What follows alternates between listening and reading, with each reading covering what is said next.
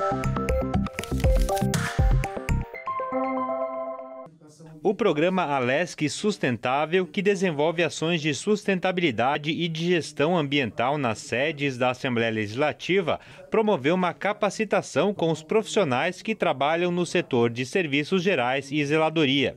De acordo com o gestor do programa, Marcelo Lube, o objetivo é reforçar os cuidados com a destinação correta dos resíduos sólidos produzidos nas dependências do parlamento. A nossa função e, a, e o nosso objetivo principal era lembrar apenas essas pessoas que trabalham já há muitos anos aqui dentro da Assembleia por uma firma terceirizada que eles já fazem o trabalho.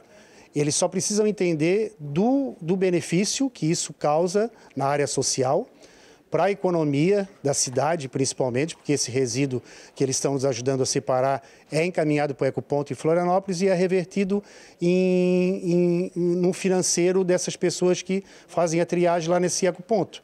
Outro tema discutido na capacitação foi o programa Pedalesc, que será reimplantada na sede do parlamento para incentivar os servidores a utilizarem bicicletas em seu deslocamento diário. Vai ter bicicletário, vai ter escaninhos para as pessoas da zeladoria colocarem seus pertences, vão ter banheiros femininos e masculinos para eles trocarem de roupa e se quiserem vir trabalhar de bicicleta para evitar de colocar essa questão do carbono zero na, na atmosfera, quando vem de carro, de Uber ou de ônibus, né?